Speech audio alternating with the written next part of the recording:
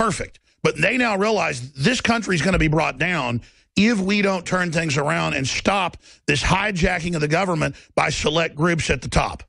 I agree with you. Not well. I know of Roger Stone. I don't know him personally, but I've had a lot of respect for him. But I've had an immense amount of respect for Trump. And I'll give you an example. When he went on your radio, he went into detail about Afghanistan. That we sent our boys to die there for no reason, while the Chinese are picking up rare earth, lithium, and all the other minerals. And he was right on. Then he talked about inversion, which Hillary Clinton has no idea about. Obama has no idea because he thinks that Goldman Sachs is a brilliant entity, although he knows it's as crooked as the day is long.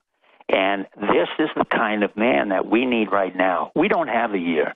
And if I can say anything to your audience, we do not have one year left to live out this administration. Stop it right cannot... there. Uh, Steve, I want you to uh, skip this break. It's so important. I want you to flesh out because a lot of people say, and Trump said, well, you know, it'll make him a martyr politically if we go after him. He's in so much trouble. You know, I don't know if we have time in the next year, but my concern is the way Obama's acting, the way his people are acting, the way they're getting really nasty and, and really making more and more stuff up, they're acting like they're getting ready to move against the American people. And, and so if you agree with that, I'd like to know what you think we should be watching out for, what they might pull. Well, what I agree with is that he is out of control and he's never he's not he's fronting for an organization that's consisting of the Pritzkers, the Chicago Rami Emanuel, who by the way was being prosecuted for incompetency, lying, and distortion, even by the New York Times. And what we had was a distraction in San Bernardino from his good friend and buddy from childhood, Rahm Emanuel, and the Chicago mob. And that's part of what San Bernardino was about, was to, to take away the attention when the New York Times asked for the resignation of Rahm Emanuel and the entire government of Chicago. So what we expect to have is more denial, more crimes, and more distortions of the truth. What we need to do is to initiate a referendum where we will ask the president to step down. I do not want an assassination. What I want is a, a referendum where the people say we can no longer wait for a year. We do not want anyone else, and we will want to nominate by choice Trump. And either we have the elections now or we don't have the elections. We do not have one more year. And all this nonsense that's going on where ISIS is supposedly creating terrorist attacks all over the world, which they're not, quite frankly. They're, they're, you got to remember the two leaders of ISIS the, the soul and the military arm were both in our prisons in Baghdad for over eight months. And if anybody in your audience believes that we in the military or in the intelligence community didn't double up these guys, and ISIS should know this, and every Sunni... They would have never been released. Muslim. They would have been given acid baths if they of weren't course. double agents. They are double agents for us. So anybody who follows these fools knows that they're following CIA and military intelligence operatives who've been doubled by us easily, and then we create the false flags, the, the false enemies, which basically we claim are Muslims. The Muslims are not our enemies. They are the enemies, perhaps, of Israel, who has a problem with their survival, but we are not. Well, I'll say this. Obviously, Wahhabis being brought in is meant for there to be attacks. So the government's bringing them in. They are eh, at the top of the food chain guilty. let me be very frank. In my business, and they know this from my past experiences, it's easy for me to take out the Wahhabis and the Salafists in Saudi Arabia and Pakistan. That's the easiest work I can do. But fortunately, they're not letting me or others do that kind of work because they're easy to neutralize the way they were neutralized in other countries and other worlds, which I was involved with. But unfortunately, our government is involved in creating these episodes. Like Bush Sr. was involved in allowing Noriega to start agitation propaganda. Why? Because he wanted an excuse to send in the 82nd Well, well absolutely. But here's my question. I think they've misjudged the calculus to be able to bring in radical jihadis, have them attack us, and then take our guns and restrict internet free speech as Hillary's trying to do. I see how they brought them in to let them do it. I get it's a false flag ultimately because they brought them in. Correct. I just don't see how they is, think they'll get away with that. Well, let me put this one. I, I really have to look back at San Bernardino, and you look at Como, uh, Cuomo, the interviewer, in the newspaper and the, and the and CB, on uh, CBS or ABC, where he asked the lawyer, uh, you know, there are many holes in this story. Number one, both the husband and wife were handcuffed. Number two, they were able to Twitter while they were shooting. Number three, you know, you have a high military operation where even if you were a black widow, you couldn't be trained in this, particularly if you're 90 pounds. And the other gentleman, the other man had no idea of how to deal with military capacity. But there was a third man who nobody talked about. My point to you is this is consistent with Sandy Hook.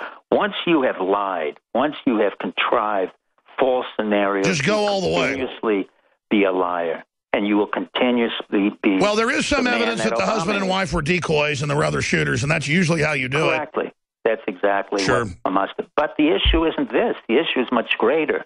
Do we, can we continue with a criminal like Obama, who is protected by incompetent Secret Service that has been rife with uh, uh, prostitution, alcoholism. And Dr. Pieczenik, stay there. We got to go to break in 60 seconds. Stay there. We're going to come back, and we're going to get into some of his uh, anti-terrorism operations he was in because they're so interesting. What he can talk about, a lot of it still partially classified, uh, but really interesting fellow. And, yeah, when he comes on the show, then I guess they try to indict him and stuff for the things he talks about. So I don't know the audience realizes the stuff you're hearing here. I mean, this this guy's really is very interesting, uh, to say the least. We'll be right back. Don't forget, free shipping until December 18th at InfoWarsStore.com, and your purchase makes it all possible. InfoWarsStore.com. Five-minute segment here, 12-minute segment coming up uh, with Dr. Steve Pieczenik.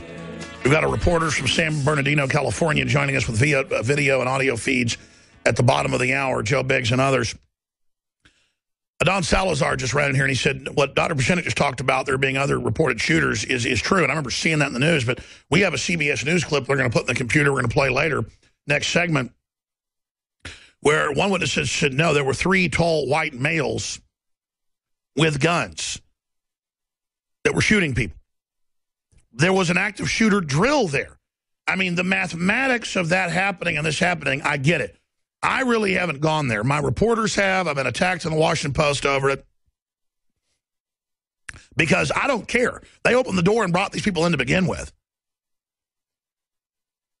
So it's a false flag any way you slice it. But I tell you, I'm so sick of everything being a false flag. But it just the evidence just mounts and mounts and mounts.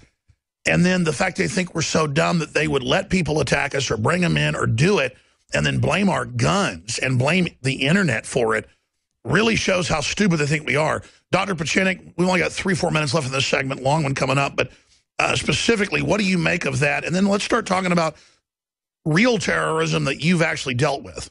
Real terrorism doesn't occur on a false flag. When I had to deal with a Hanafi Muslim in 1978, Carter had created the situation accidentally, and I had a hundred, I had 500 hostages in three buildings the FBI correctly called me in under the auspices of the U.S. prosecutor.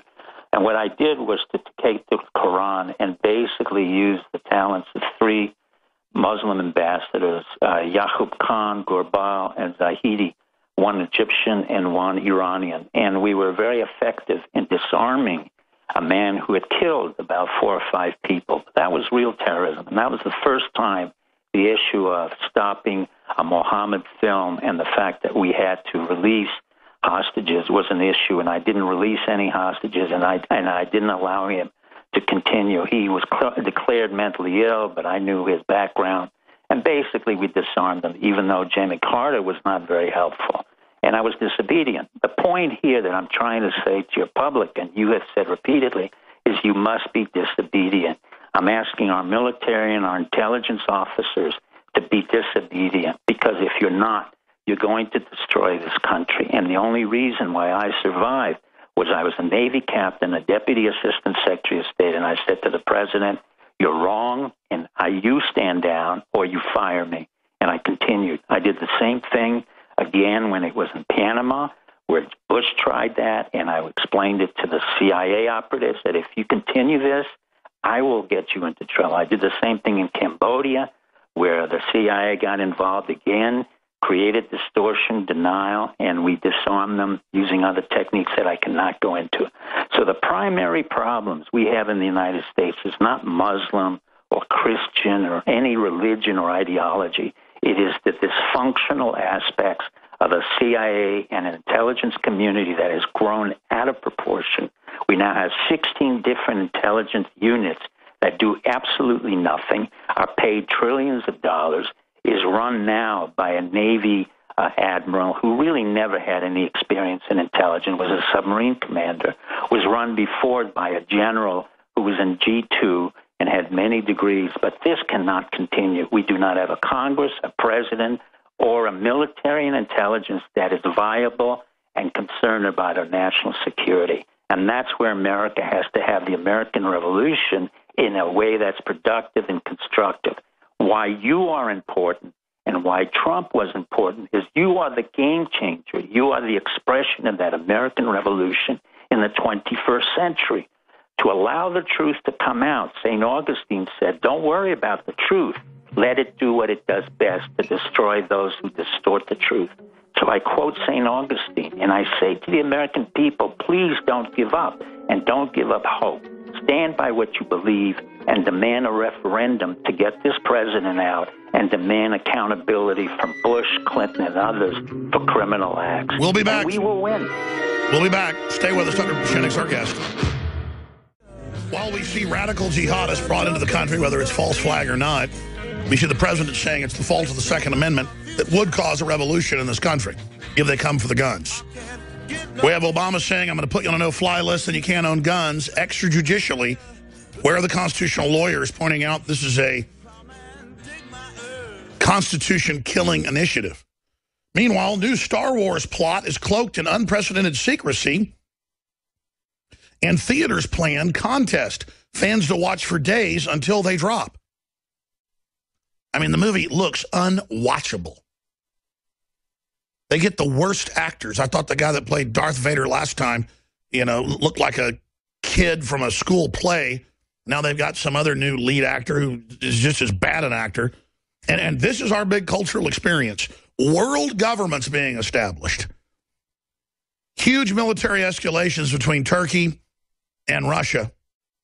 Turkey's now moved in troops into uh, Iraq all hell's breaking loose. The Turkish president's threatening to uh, blow up Russian ships.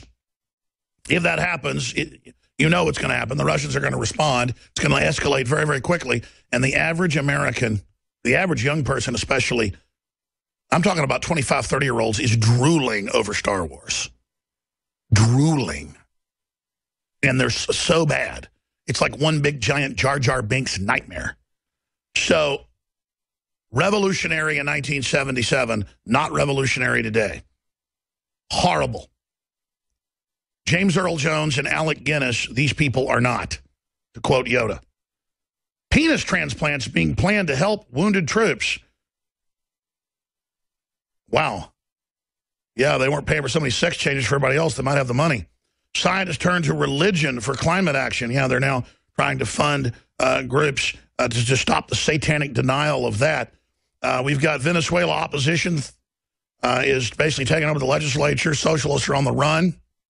Oil's the lowest it's been in seven years. That's some of the news up on drudgereport.com, up on Infowars.com. Obama, six years later, calls Fort Hood a terrorist attack. J.P. Morgan and Citigroup agree that the U.S. economy is steamrolling towards recession. Oh, they finally come out and said it. Former Congressman Joe Walsh goes on anti-Islam rant, dares Loretta Lynch to prosecute him. Regardless what you think of Islam or radical Islam, don't you have the free speech? Now, we've got a Don Salazar in the control room. I want him to introduce this clip, and we'll get Dr. Pieczenik's take on it, saying that how was there a drill at the exact same time of this happening with armed military police there? I mean, that that is super rare. And it just keeps happening at false flags. And then you've got witnesses saying they saw white guys running around. Well, see, the globalist up above it may have had the police there for a drill to confuse everything even more in case something went wrong. See, a lot of times the drill isn't people that are part of it. That's why they had folks in the 7-7 bombing admit, we were running a drill, the exact same trains and exact same bus being bombed at the exact same time. Scotland Yard was part of it. Well, they weren't part of it to go on the news and say, it's crazy we were running a drill. They were hired for smog, for confusion, for fog of war. In case any of the false flaggers got caught, then they just say, oh, it's part of a drill. Or, or maybe Dr. Pieczenik can correct me and explain how that